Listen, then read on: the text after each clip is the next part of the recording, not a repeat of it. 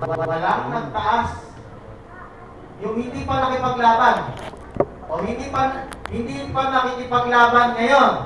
O hindi nakikipaglaban ngayon. Taas ang kamay. Pag hindi kayo taas, lahat kayo nakikipaglaban. O taas ang kamay ang hindi nakikipaglaban ngayon. Sister Jera, sino yung Nataas ka ba o hindi? Taas. So, wala kang kalaban ngayon. Sister Marisa, hindi ka nagtaas. Sino ang iyong kalaban? Nakikipaglaban ka ba ngayon? Paliwanag mo, Sister Jo, ang tuloy mo.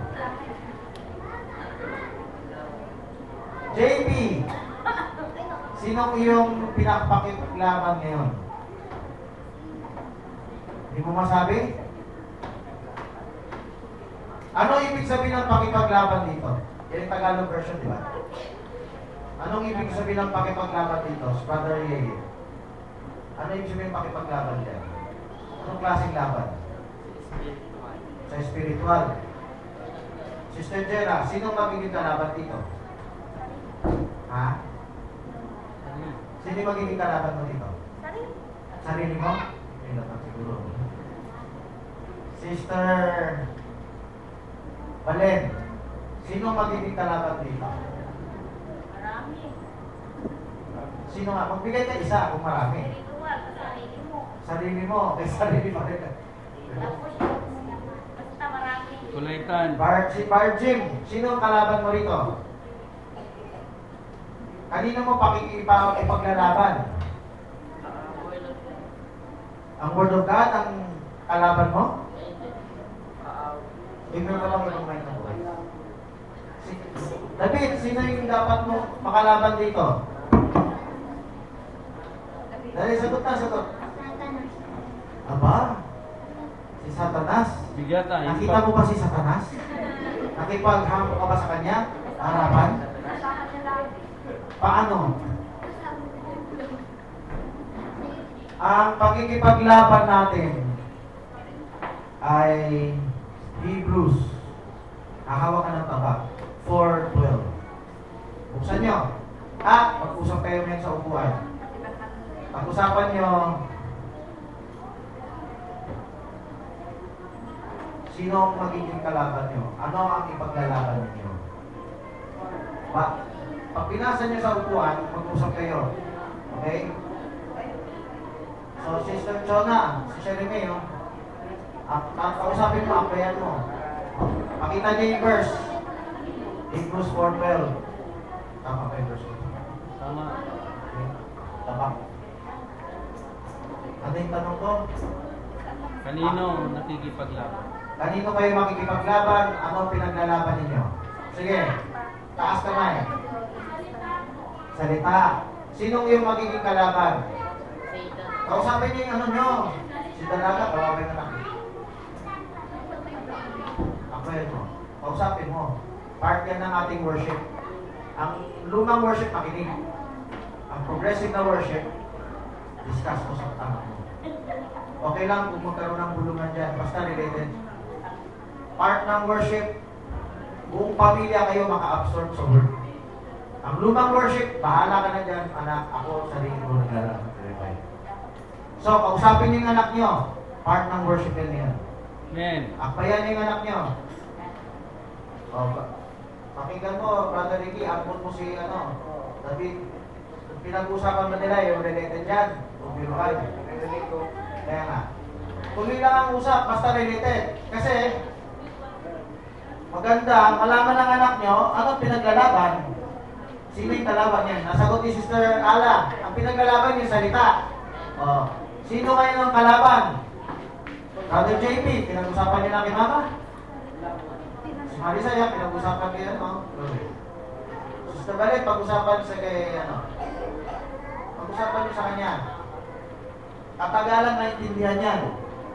Sister Faith, sino yung pag-usapan niya, Sister John? Sister Faith, sino yung magiging kalaban dito kung salita ang pinaglalaban? Pag-usapan niyo kay Sister Linda. Sister Chona, pag-usapan niyo kay Sister Sheremy. Pag-usapan niyo. Sister Alpha. Makausap ang pag-usapan sa anak. Sino ang makakalaban mo sa salita? Sino? Espiritu? Ha? Ano na? Worldly things? Pwede. Pwede. Isang kalaban yan. Pero things pa, no? Hindi yung kausap pa eh. O, punta tayo. Para magka-idea ka, gusto ko magsagot nyo, gusto ko makita ninyo. Gamitin nyo yung Biblia, tumanggap kayo pahayag sa Diyos. Unawain niyo yung common sense. Huwag na tayo, tumigil na tayo sa kunwari, nakaupo na, nakahimik na kunwari nakikinig. Unawain na natin ngayon ang nakasulat. Okay? Ikalawang Timoteo, 3.16, bukas. Basa bulong. Ang una niyo dapat gawin, singilin niyo yung anak niyo sa pagbasa bulong. Singil. Oo yan. Kung walang magulang, andyan si Celso. Abi, singil. Singil basa bulong muna, pamasa sa anak. Then, pag-usapan niyo sa anak. Ikalawang Timoteo, 3.16. Ngayon, ang tanong ko, sino ang inyong kalaban? sa spiritual. Doctrine ang iyong kalaban? Siyempre, gagamitin nyo ang unawa ninyo sa talata. Hindi letra per letra nandyan, kukupyahin nyo na lang yung word. Yan yung ginagawa sa school, di ba? Unawain nyo.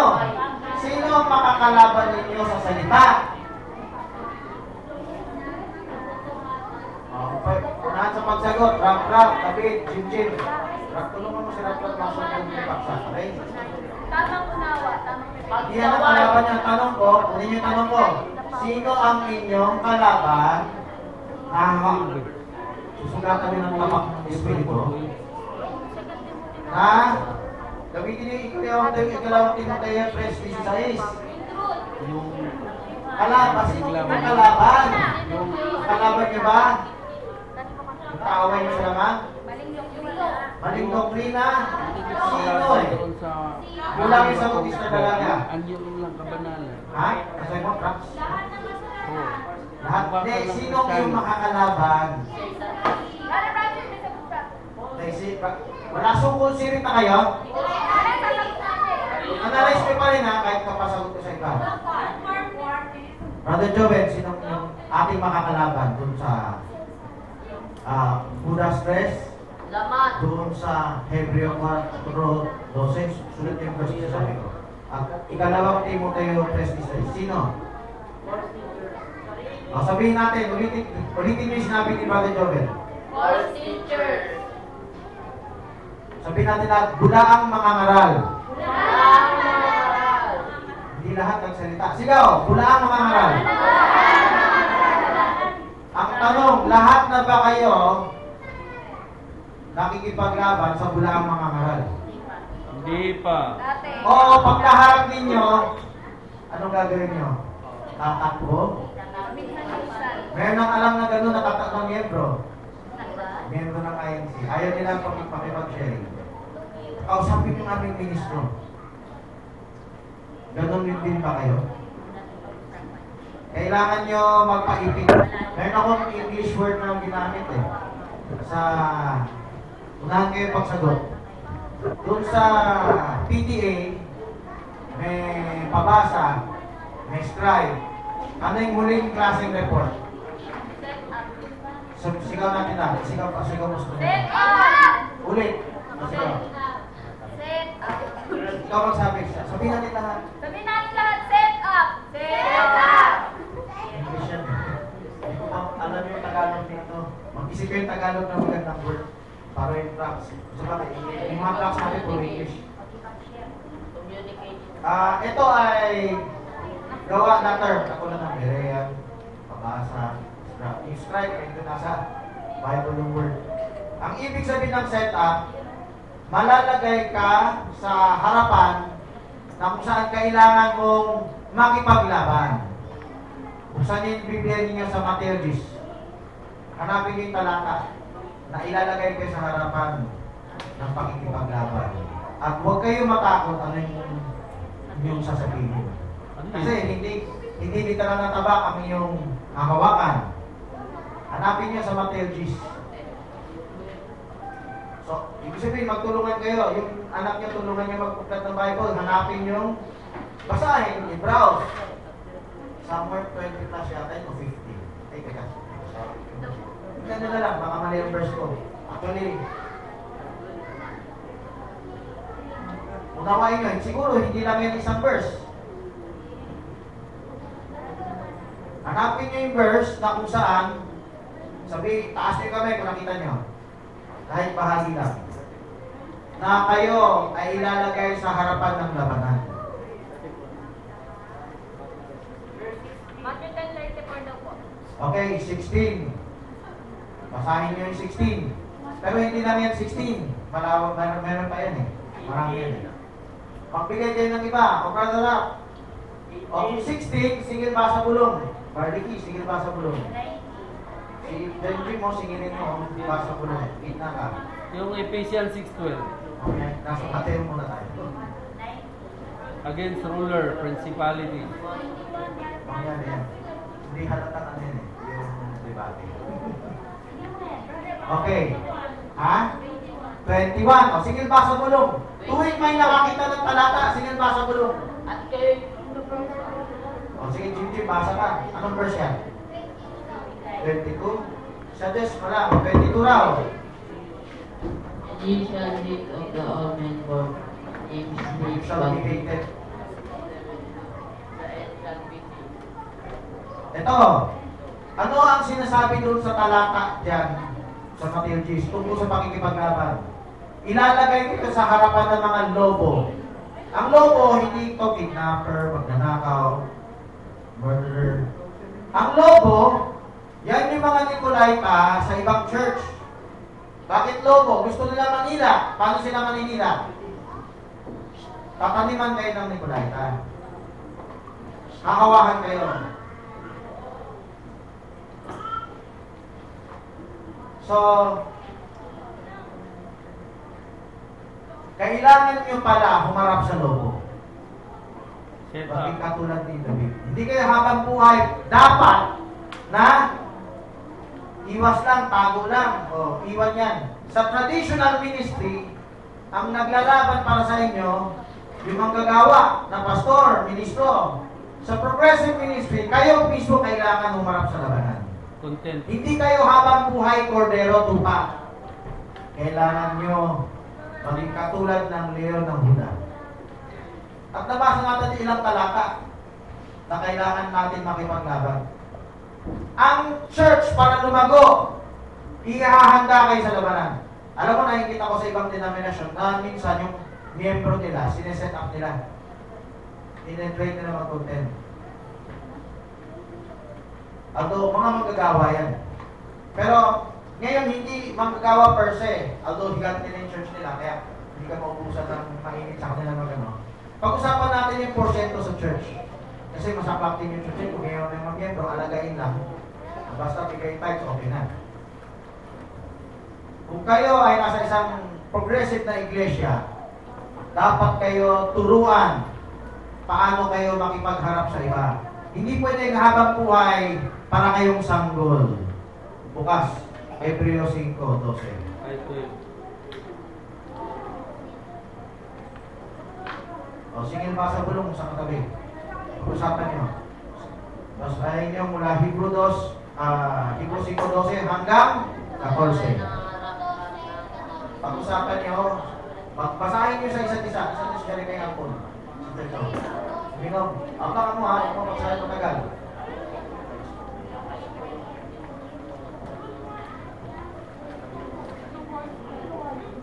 Okay.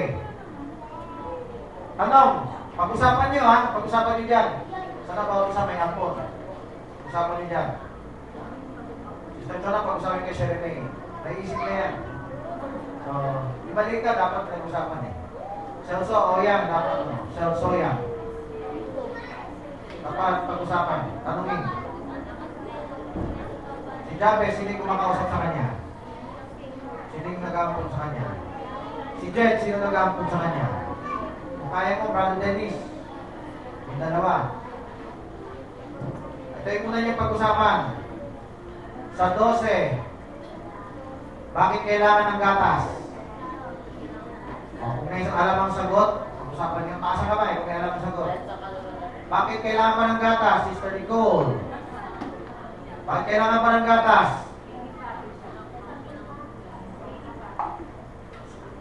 Sister Nika, nampun ba? Pinag- Pinag-usapan ba? Badarap. Hindi, ikaw na sumagot. Kailangan pagtulungan? Hindi, ano nakasulat yan? Pwede na kayo pumunta ng bansa. Sino yung kailangan ng gatas? Mga? Pero yung sanggol na yan, matagal ng sanggol o bago pang sanggol? Ano yung tawag sa matagal ng sanggol? Anim na taon na, sanggol pa rin. Damulag. Yan Damulag. na. At bakit tinang tiyana pa rin? Kasi, yung hindi lumalago, binansot ng demonyo. Binansot kayo ng demonyo kasi ang ministeryo na nagsa-disipulo sa inyo ay Nicolaita. Nicolaita dahil ayaw kayong ipaghanda ng setup. Although ako hindi ako ganun kagaling, kailangan ko ng katuwang. Siyempre, hindi ko rin kaya kayong mautukan. Um, meron din kayong responsibilidad. Bawat isa sa inyo, actually, ang Espiritu Santo ang magdadala sa inyo yan. Pero hindi masama ituro yan kasi tinuturo ng kasulatan yan. Ngayon, kailangan maging conscious kayo. Katulad ng Hebreo 5.12. Kailangan maging conscious kayo. Kayo ba ay sanggol pa o hindi na? Taas ang kamay. Sanggol pa. Huwag mahiya. Tulungan tayo eh. Kailangan tulungan. Sinong sanggol pa? Taas ang kamay. Ilan ang amin? Ilan ang amin? Isa, dalawa, tatlo, apat. Yung hindi nagtaas kayo magiging guruan, kailangan kayo magkita ba sa akin? Sino ang sanggol pa? Taas ang kamay. Lingon, lingon. Hanapin yung hindi nagtaas ng kamay, papaturo kayo sa kanya. Sabihin, yung hindi nagtaas ng kamay, hindi na sanggol. So, pag ng sanggol, si anak. Yung baby, hindi nagbabago pag yung baby. Ano? Bonjing? Yung bonjing medyo kakatawanan. Pero yung tiyanak, alagat sa demonyo. Ibig sabihin, yung pagiging sanggol dyan sa Hebreo 5.12 ay naano ng demonyo yan. Napa, napabansot. Whether kagagawa ng ministeryo, gagawa ng sarili niya, hindi siya sumusunod. Punta tayo. Dapat, ano sabi, ano sabi ni Pablo, yung sanggol na yan, na naggagatas pa, dapat ano na raw siya? Si Brother Simon. Hindi na, ano? Brother Jim, dapat yung sanggol ano na? Yan. Brother Jet, yung sanggol dapat ano na ngayon? Ha? Sigaw, sigaw. Malaki na. Tanda na. Sabihin natin, guru na. Sino dito kaya na maging guru? Huwag itaas ang kamay. Sino kaya na maging guru? Huwag itaas ang kamay. So yung mga hindi nagtaas ng kamay, kailangan kayo mag-read ng Bible study. Ha? Yung yung kaya maging guru, huwag itaas ng mataas ang kamay. Sino hindi nagtaas? Sister Chona, pwede na yan maging guru. Si Rap Rap, hindi nagtaas. Pwede na yan maging guru. Lingon, lingon, sino hindi nagtaas ang kamay? Lingon. Meron bang hindi nagtaas? Sino hindi nagtaas? O, sino balik? Hindi na yan ang Bible study. Pagtanungan niya. Baba. Ngayon, kung kayo ay hindi nasanggol, ano na ang inyong kinakain? Ano sa kanila? Karne. Sabi natin lahat, karne. Ano namin po, kani? Lakasan nyo. Karne. Sabi sa karne, karne. Yan din yung saltang incarnation. Yan ba? Ang incarnation, pag pasok sa karne. incarnation. Yung incarnation, yung indwelling incarnation yan. Pagpasok sa katawan, theophany yan. Kung kaya niyong kumain ng karne, kayo ay magiging theophany ng Diyos. Incarnate. Sabi natin, incarnate. Incarnate. Pumasok sa laman. Sabi natin, salita naging laman. Salita naging laman. Incarnation yan. Sabi ni Brother Branham, natupad ang Word made flesh sa River Jordan. Pero pwede mo ituro ang sa sa Bethlehem, nung nabuntis si Maria, nung bu- buntis si Maria sa Bethlehem, yung sinapdala niya sa situpunan, Word made flesh din. Incarnate. May pagkagadhet pala to. Pero yung dapat yung gawin pala may pagkagadhet. Bakit? Yes. From 14, kailangan kinakain nyo na karne. Kailangan, pag kumakain ng karne, ano kailangan nyo gawin? Magturo. Hindi kumpleto ang layunin ng Diyos sa buhay nyo kung hindi kayo nagtuturo. Kailangan magising na tayo sa traditional nating kinagisnan na hindi lahat tagapagturo. May nakasulot pa ganyan? Hindi nga alam. Unang Korinto 12. Hindi lahat apostol, hindi lahat tagapagturo, hindi lahat pastor. Pero ano sabi doon? Naisin ninyo ang pinakamainam na kaloob. Maraming kaloob, pero lahat may kinalaman sa salita ng Diyos. Yung reckon, reckoning lang sa hukom. May kinalaman sa salita. May kinalaman sa incarnation, theophany yan. Pero, hindi nyo na-realize. Hinihintay lang kayo ng Diyos na gumanap yan. Ito, isang theophany.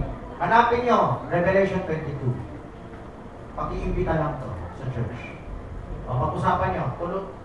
Samahan yung anak niya maghanap para matuto siya mag-browse ng Bible. Hanapin para mag-analyze. Ah. Para para si Dapis walang umampo no, hindi nakbayan ni ano. Akbayan mo, Sister Hannah. Si Dapis. Pahanap mo sa kanya, Revelation 22. Anong talata diyan? Incarnation ng Diyos sa atin. Magkikita tayo sa church. Oh, yan ay parang puzzle. Sagutin nyo sa upuan. Pag-usapan nyo, ito ba yan? Ito ba yan? Parang hindi eh. Magkakaroon na yung bonding sa pamilya. Sa upong class, dapat ganito. Araw-araw sa bahay dapat ganito. Meron kayong ganitong gawain sa bahay. Barnabas. Kinabit lang. Pero hindi nakadiin. Teka, ang sasa, pag-usapan niyo muna sa anak niyo, kailangan ng anak niyo. Birthday is pwedeng pag-usapan mo kay Sister Joy. Pero sana may taga-aapon ng iba niyo. Si Zach, parang tinuruan nila magdalitan yung likod sa ano. Ah, Sister Nicole. Anong talata na pag-usapan niyo na? Ang liikli ng Revelation 22. Madali niyo makita yung verse. Ang verse na yan, nag-iimbita sa church. Nag-iimbita, uminom. Kristo na ba? Halika. Oo. Sige. Basa bulong. 17. Binangkit na eh. Pagpasahin nyo, pag-usapan nyo. At sasabihin ko sa inyo, ang Espiritu, yan ang Espiritu Santo. At ang asawa ng Kordero, yan ang Iglesia. Yan ikaw. Sino dito asawa ng Kordero? Sino dito magiging asawa ng Kordero? Sino dito gusto maging asawa ng Kordero? Taas ang kamay. Taas, huwag niyo baba. Lingon, sino yung hindi nakataas? Sino hindi nakataas? Hanapin niyo, sino hindi nakataas? Hindi nakataas, evangelist na, tingnan Okay, baba. Gusto niyo maging asawa ng Kordero? Magiging asawa kayo ng Kordero? Inaangkin niyo, asawa na kayo ng Kordero. Anong gagawin niyo? Dadalhin kayo ng Espiritu na magsabi. Ano sasabihin ng Espiritu? Ano sasabihin niyo? Ano sabi diyan? Tagalog. Huwag na English. Ano sabi? Ano sasabihin diyan? Anong sinabi ng Espiritu at kasabay ng nobya? Anong sinabi? Tagalog. Lakas, malakas. Come and die. Halika. Magpista tayo. Pag-usapan natin sa tanong Diyos. Mag-imbita kayo sa fellowship. Nag-iimbita ba kayo? Yan lang. Alam niyo ba pag nag-imbita kayo, eventually, may makikipag-sharing sa inyo. May ibang pananampalataya makikipag-sharing sa inyo. Ano mangyari sa inyo? Lalago kayo sa salita. Bakit? Minsan, maiipit kayo. Minsan, hindi nyo alam yung ipapaliwanag. Dahil hindi nyo alam yung ipapaliwanag, anong gagawin nyo? Ito yung dapat yung gawin. Unang Pedro 3.15. Oh, bukas. Sigil ba sa bulong? Oh, pag-usapan nyo, yung batang sasagot. Anong dapat gawin? Sasabihin ko yung mga sasagot ha. Unahan sa pagsagot. Ralph, Dave, Jim, Andre, kung sarili may alam, Kenneth yun. Kaso, relax yung super. Hindi ka pwede isang sagot. Andre, super pwede magsagot with promises of Yeye, pwede sumagot. Nicole, pwede sumagot. Jen, may chemistry niya. RJ, pwede sumagot. Ibig sabihin may chemistry, pwede sumagot. Welcome sa sumagot. Wala nagtuturo eh. Kaya ligtas natin ako sa dito. Si Jabez pwede sumagot with Angel Burger. Kaya turuan. Grabe, hindi nakikinig. Ako. Ulitin ko yung tanong. Ako yung tanong mo. Ha?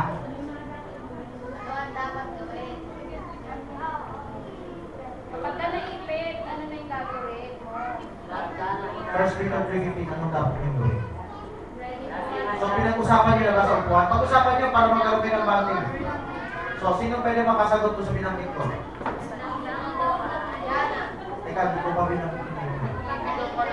Yeye, nagtaas ng kamay. Teka, may masagot? Ah, sige, agawan mo na. Ano. Sige. Ano ang sagot? Lapit, lapit. Ano ang sagot? Ang sumagot. Iniibig ang salita ng Diyos. Medyo ang tama, iniibig, pero yung handang sumagot, hindi yan eksakto sa tanong ko eh. Ang tanong ko, anong dapat yung gawin? Brother Yeye, eh, ang taas ka ng kamay. Yeye, sigaw mo, sigaw, sigaw. Kung ano mabuting gawa. Sige, sigil muna, parang hindi na yan tanong masagot. O, patulad ka lang ni Jim Jim. Alam niyo ba yung sagot niyo malapit sa ang sagot niyo sa tamang sagot? Pero hindi pa yun ang tamang sagot. Kung nasa school kayo na na mataas ang standard, bagsak kayo. Hindi mataas standard, sabi ng teacher, pwede na yan. Yung tanong ko, ano ang gagawin niyo? Maging mapagkumbaba. Yung, sagot ni Jim Jim, objective yan eh. Teka, ang nag... Nicole! No. Sigaw, sigaw, sigaw. Oh, tama yung sagot pero hindi pa yan yung malapit yung kina Jim. Kina Yeye. Yung kina Jim at yung pinakamalapit yan, kaso mali lang ang grammar. Grammar lang ang ayos. Ang handa, nandun kayo sa first Peter 3.15. Okay, wala nang sasagot? Si Lupi. Brother Pat, lakas ang lakas. Wala pa. Ha? Ano? Sharing. Hindi yan eksakto nakasulat yan eh. Pagkama yung sharing, pero hindi yan eksakto nakasulat yan. Anong gagawin nyo sa first Peter 3.15? Pag-usapan nyo, baka alam ng anak nyo. Baka alam yung pag-usapan. Sister May, wala? Hindi mo pinag-usapan ni May? Gusto mo ikaw sumagot, Sister Chona? Pero dapat Sherry May, pag-usapan yan. Binasa niyo yung. Ano? Ano? Handa report? Malapit-lapit, pero hindi eksakto. Para patay lang kayo kay Jim. Nika, maging handa. Ang tanong. Pag may. Mas malapit si Nika kaysa kay Jim at Lilith. Ano?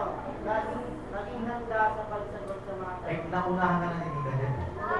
Para mas, eh, masigit pa kay Nika, ano yung top grammar na lang yan, grammar. So may idea kayo kayo, ano yung tama sagot. Ayusin nyo yung grammar. Kumagat yung pagpapabaan. Sumagot, eh, tinanong ka na nun. Ah, Pero kulang sa'yo, kung may kung tanong sa'yo. Kulang ang tanong sa'yo. Abraham God, alam mo ba yung sina Abraham ka sa Barnabas? Ikaw talaga, kapelsium yan? Ang Abraham. Pwede rin yan, no? Yung hinahanapan mo ng ka- ka-sharing, eh, yan sa'yo. Pwede mo gawin yan. Ang mag-report. Balik tayo. Makinig kayo. Ang tamang sagot, which is tamang grammar. Ano sa mga tutulong grammar? Laging handa sa pagsagot. Kasi analysis yan, hindi word for word kopya. Anong gagawin nyo? Maghanda ng sagot. Yung laging handa, malapit na. Maghanda. I- Anong isip maghanda? Maraming usapin sa pananampalataya. Alam niyo na ba sagutin ang mga tanong na yan? Kung tinanong kayo, ilan ang Diyos? Alam na ba sumagot? Mga bata? Apat. Anong anyo ang Diyos? Nakikita ba ang Diyos? Paano nakikita ang Diyos? Diyos lang yan. Anong pangalan sa bautismo? Iba sa inyo alam. Test lang tayo, record. Sino nakakaalam anong pangalan dapat gamitin sa bautismo? Taas ang kamay. Sino, sino limang taas? Turuan niyo ng bautismo. Ay, hindi lang bautismo ang topic pagpahayag ng Diyos. Ang daming pahayag ng Diyos. Kayo sa dingding. Pinaintindi ko lang dingding. Nakita niyo yan, yung kapanahunan? Ang daming paksa. Ang daming kapahayagan. May kapahayagan din ng Diyos para sa pamilya. Para sa pag-aasawa. O wala pang asawa. May kapahayagan ng Diyos para sa iglesia. Ano dapat niyo gawin sa iglesia? Anong dapat niyong ipaglaban sa iba? Alam niyo ba yung setup? Isang pagsasa training yan. Training yan na ano? Nang anak natin ay maligtas din sa sanlibutan. May nagsagot nga, ay, laman natin. Kalaban din natin laman natin. Paano mo ang anak natin ay mapoprotektahan sa sanlibutan? kung malakas siya sa salita. Paano magiging malakas ang iyong anak sa, sa, sa, sa salita? Kailangan mo iparanas sa kanya ang setup. Paano siya magkakaroon ng setup? Utusan mo na siya mag-take note, hindi lang dito sa pulpitan. Araw-araw sa bahay makinig ng scribe audio. Ng audio. Dati ang bilin ko, makinig kayo araw-araw sa DZAS. Tuloy pa rin yan kung may radyo kayo. Sabi ko noon, amen kayo kung narinig nyo na. Ma, ma, ang panoorin nyo lang sa TV yung mga religious na palabas. Amen. Sinabi ko ba yan? Amen. Sino nakagawa? Sigaw amen. Isa lang. Ano pinapanood nyo sa bahay? Huwag, huwag nyo, huwag nyo laruin yan. Huwag nyo gawing baliwala yan. Mag-iisip kayo, akala nyo walang demonyo sa mundo eh. Akala nyo walang demonyo sa mga palabas, sa mga awitan ng sanlibutan. Alam mo, kahit ma- mabait yung tao sa sanlibutan, yung kabangmangan lang sa Diyos, yung dinadala sa kasakabangmangan ng Diyos, na demonyo ka na. Bigyan ko halimbawa. Sino nagpapanood sa kanilang anak ng cartoons? Say amen. Amen. Taas ang kamay. Nagpapanood sa kanilang anak ng cartoons. Kung taas ang taas ang RJ. Nanood, nanood talaga. Hindi lang future anak na yun. Yung Walt Disney. Alam mo, meron akong kasama sa Binondo Church. Alam mo, nagtaga Binondo. Yung ako niya, mayaman. Pinasyal, yung, siyempre, gayak siya. Dinala yung anak sa Disneyland. Nung umuwi, at siyempre, umati ng church, pinikwento nung isang sister sa sisi, Uy, yung ganda-ganda doon. Ang saya-saya. Eh, bulag pa ako sa Binondo eh. Oh, okay lang siguro yan. Pambata naman yan eh. Yung Walt Disney, yung mga mga ni Cornelio, ng mga pa. Tanda mo, tumutupot siya ng world music ng mga sa mga pelikula na. So ngayon, so may binondo pa yung bata. Nandito tayo ngayon. Nagpapahayag ang Diyos. Lahat ng layo sa sanlibutan, huwag isip, puro, ma, puro pa masasamang krimen lang. Kasama yung last ano sa Mateo. Luhot nun? Ano yung pakita lust of the eyes, Ten, the pride of life. Yung bagay na sa sanglibutan na mukhang maganda. Uy, excursion tayo. Ay, mga pa- pamilya ko, mag-Jollibee tayo. Oh, birthday ng anak ko, anak natin. Mag, mag, ano tayo sa Jollibee, yung birthday package, Sister Joy. Sino dito na Meron pang isang nanay, gusto raw ng birthday package sa ano? Jollibee, mascot, yan. Meron pala isang kapatid na wala rito, nag-birthday package sa Jollibee, na hiring mag-praise worship si Bar Joel. Kaso, kailangan ipilit ng Jollibee na kakatutok kakatasin ng birthday. Meron ding hiring ng isang ano taga sa birthday, taga aliw sa tao. Si Bar Joseph, wala na dito. Pero napasaya ko. Na, pinasaya ng bakla sa ano, dun sa birthday. Kailangan magising na kayo. Tayo yung anak ng kaliwanagan. Huwag kayo maging anak ng kabulagan. Siyempre maraming churches hindi aware dyan. Okay lang sa kanila. Yung television at iba pa. Anong dapat na pinaka-excitement ng anak natin? Word. Pinapahayag na ng Diyos. Word. Ang pinaka-excitement dapat, hindi, ng anak natin, ng pamilya natin, ang pinag-uusapan nila, yung pahayag ng Diyos. Alam niyo ba, pag may debate rito, ang anak niyo na involved yan sa usapan na yan, ano mangyari? Gusto ng anak ninyo pag-usapan yan. Pwede ba ang magulang, nanay, tatay, anak, lolo, lola, tito, tita, pinag-uusapan yung usapin sa debate? Pwede ba? Meron ba yan? Pwede ba pinag-usapan nila yung narinig nila sa Bible study na sa tungkol sa Book of Revelation? Na-discover nila sa li- libro? Yan ba ay malaking pera? Kailangan gumastos sa malaking pera? O kahit mahirap ka lang, kaya mong gawin yan? Kahit mahirap ka lang, gawin yan para kang nasa langit. O isang araw, talaga magiging mayaman ka sa langit. Walang kamatayan. Pero ngayon, mahirap ka. Wala kang TV, wala kang radyo, at wala kang ibang libangan. Ang pinaka, ang Panginoong Diyos ang inyong kapagkainan, seven men. Siya ang inyong usapan, pinag-uusapan. So, sa mga magulang na may problema ng anak, taas ang kamay. Sino magulang may problema sa anak? Taas ang kamay. Sino magulang may problema? Say amen. Amen. Pakikutin ng taas. Ulitin natin. Sino magulang may problema sa anak? Taas straight ang kamay. Amen. Gusto niyo ba humingi ng tulong sa Diyos? Amen. Gusto naman ng Diyos lumapit kayo. Huwag kayo magsarado ng matigas. Okay, baba ko na Binibigay ng Diyos sa inyo. Walang masyadong gastos to. Paano kayo lalago? Paano ang pamilya ninyo lalago? Binigyan kayo ng Diyos ng kapamalan sa pamalo.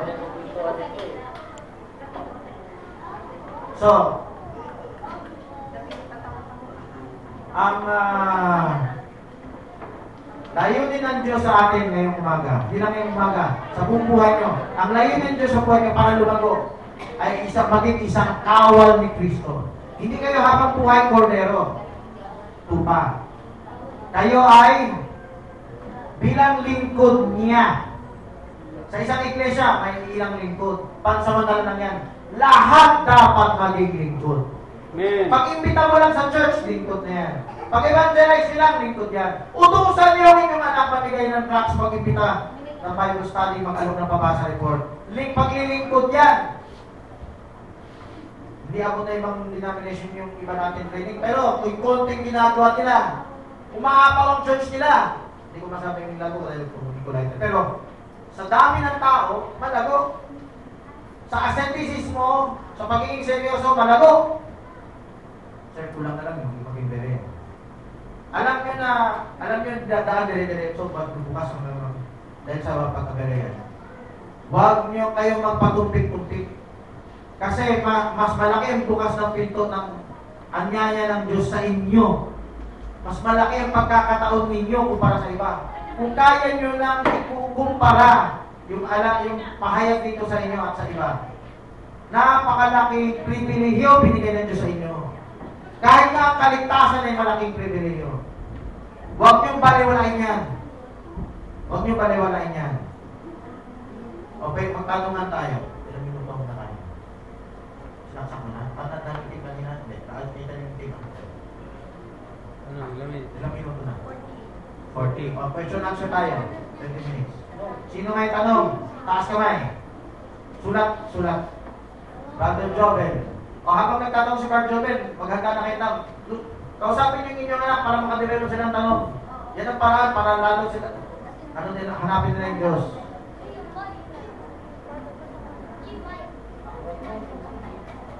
Ano?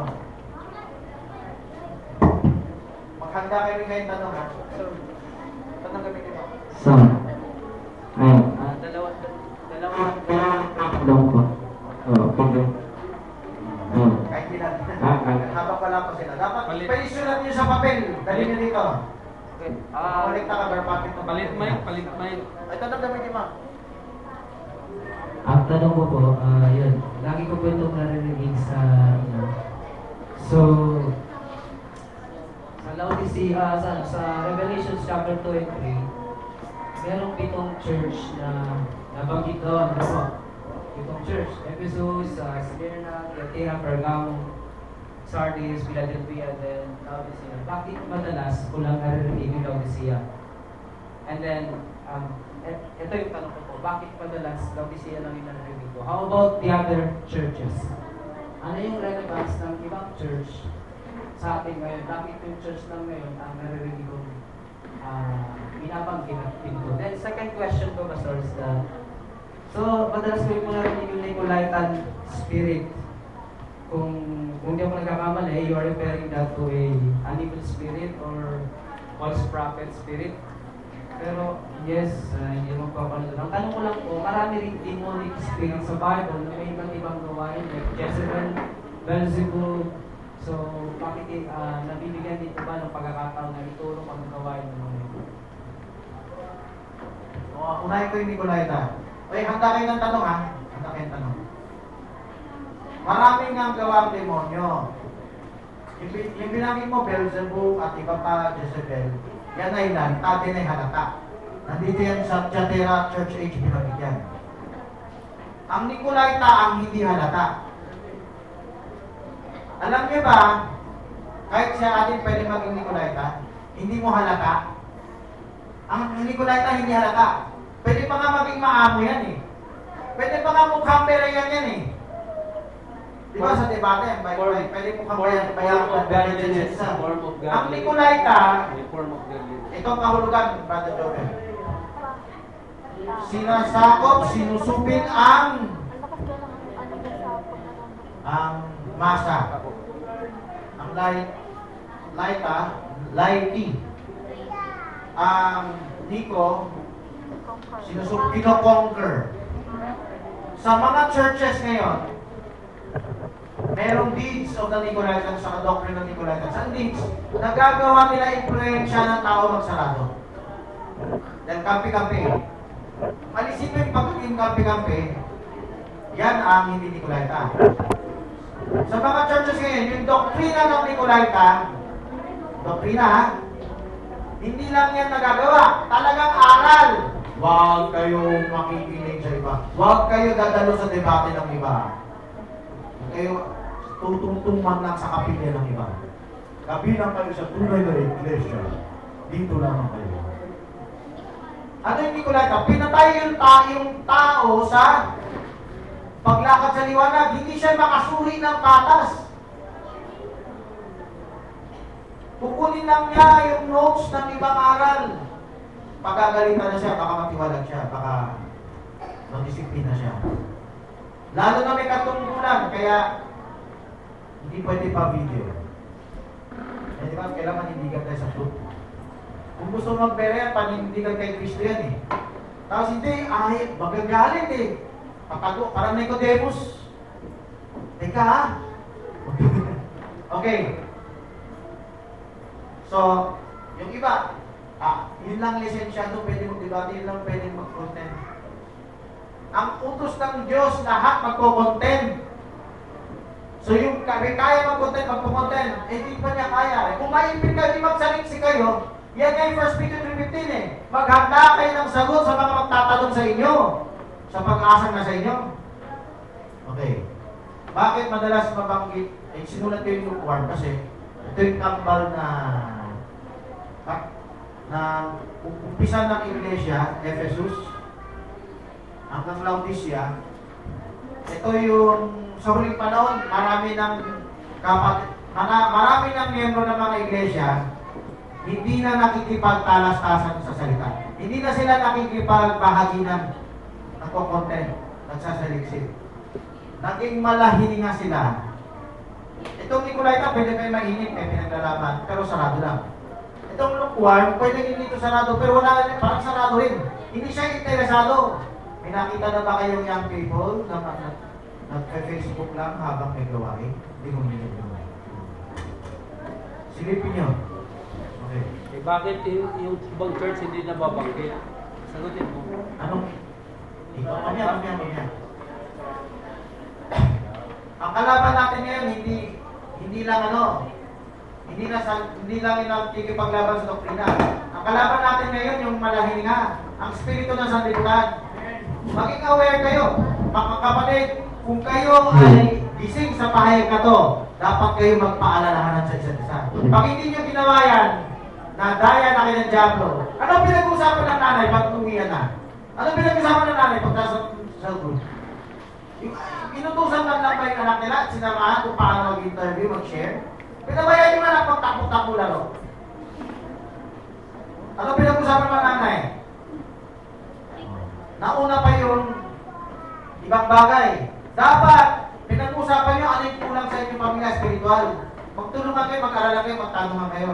Maaaring may nangyari ganyan. Pero, kung ikaw ay hindi pa sakdal, ang hindi yan urgent, huwag mo na kayo mag-usap ng ibang bagay.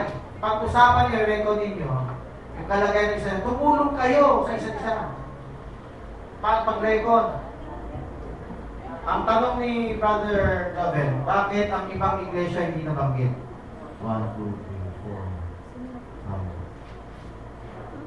ang ibang iglesia hindi nabanggit. Kasi, si- sino ba yung nagbabanggit ng Laodicea sa narinig mo? Dito, dito ba? Taga rito? Ako nagbabanggit? Sa yung video mo ba narinig? O dito? Kasi hindi ko maalala nang nagbanggit ang Laodicea kanina. Mga end time. Okay lang. May pahayag sa end time message. Mula sa panahon ni Kristo hanggang katapusan. Ang pitong iglesia ay tipon larawan sa bawat panahon ng iglesia. Kaya tayo na sa panahon ng Laodicea, panahon ng malahiningan, pang kalahatan. Pero, bawat iglesia, meron niyang katangian ng bawat isa. Pero, bawat kapanahunan na ah nagiging natatangi yung katangian nung kapanahon ng iglesia. Kunwari, sa Laodicea, pinag-usapan ng magiging malahininga. Ang malahininga, hindi lang sa isang lokal. Lahat na halos na lokal. Sa buong mundo. Pag nabuhay ka sa Ephesus, yung katangian ng Ephesus na una, na una silang mainit, sinunod nila yung mga libro ng ano, ng makukulam. Maapoy sila, tapos damo muli naging Nicolaita sila. Pagkalahatan kasi, magsisimula pa lang yung ano eh, maging, yung espiritu ng katoliko magsisimula. Hindi sarado. Yung ibang iglesia na hindi nabanggit, Smyrna, Pergamos, oy, lahat kayo mag-dictate. Six start. Ephesus,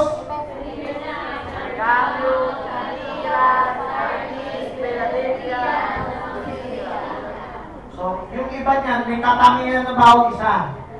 Yung Jezebel Spirit, nandun, at iba pa. Yung mga katangian na nasa loob, katangian din ng bawat iglesia. Pero hindi siya natatangi pangkalahatan. Okay, alam mo na. Iba sa taas, basa. Ibang tanong. Okay, magsabit kayo ng mga tanong. Yung magtatanong ay maliligtas. Ang Bakit pag isa kang Kristiyano bawal Naghahanap, hukong. Sige, bakit? Bakit pag isa kang Kristiyano, bawal ka manood ng TV worthy? Yung hilaw. Yung mature, kaya niya mag-discern eh. Yung hilaw, malalason. Di ba yung bata, meron bagay hindi mo na pwede kahit makain. Kasi hindi pa kaya.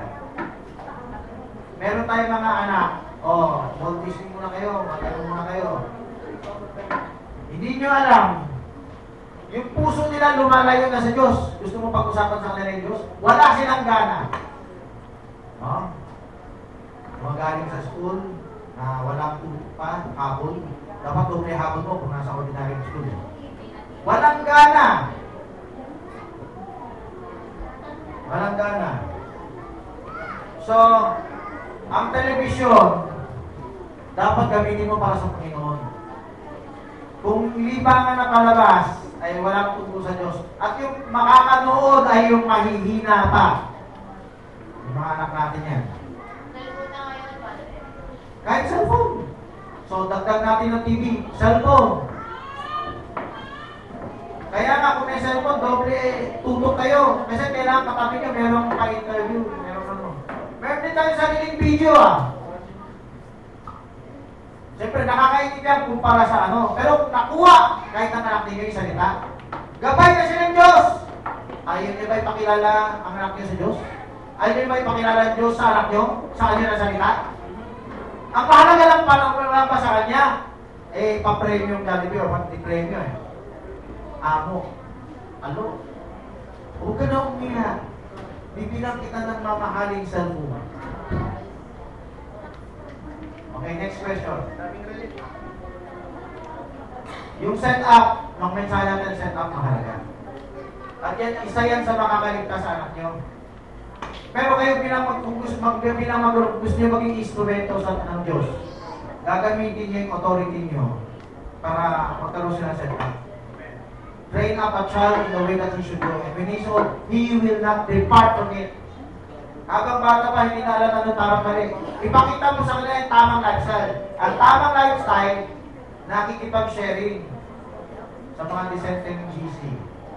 Group chat. Pa-interview na makipag ano.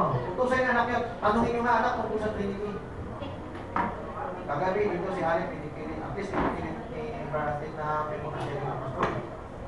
Ganun dapat gusto nyo kahit ngayong break time. May mga may pastor pa dito na tira. May debate dito nung ilang araw. Dapat ang puso nyo, sana yung anak ko. Yun ang excitement niya. Dalhin nyo. Yung Wednesday, may dumadalo, pero dahil sa debate, walang lalong hindi dumalo. Ano para lang yan sa matanda. O dati sabi ni Pastor Dan, uy, dumating bisita, makikipagtalaktakan sa akin. Labas muna kayo, labas. Kayo mong pinagsabusapan namin. Anong gusto mong mangyari sa anak nyo? Anong gusto nyo pag-usapan ng anak nyo? Hindi salita ng Diyos. O, maglokohan kayo sa labas. Maglaro kayo sa ligawan kayo sa labas. Para lang to sa matatanda. Yan ang lumang ministry. Makasariling ministry. Hindi kayo masasaktan sa church. Hindi kayo maging super church. O, sino yung tanong? Tanong-tanong dali, basa. Paano kung nagpapakita para hindi sumbong din yung ginawa ng isa? Anong gagawin mo? Ulitin mo nga, ano? Paano kung nagpapakita para hindi sumbong din yung ginawa ng isa? Ipag-compromise mo. Tatakipan. Paano kung nagtatakipan? Yun ang traditional ministry. Yan ang laman. Nandiyan ang Diablo! Oh, huwag na ano. Y- yung hukom na mature na pinagbintangan chismoso, chismosa.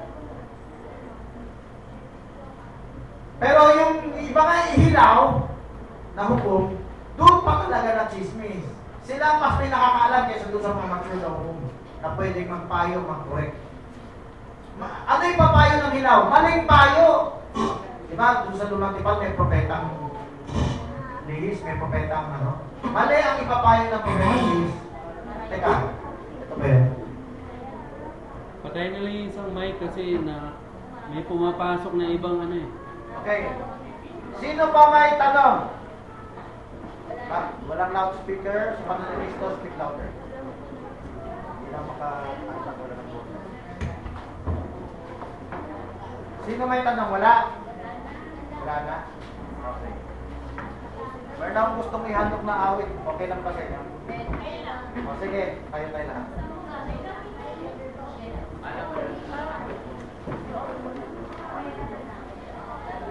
ko ng boses. Tulungan niyo na kumanta. Ano to? Off na? Perfect.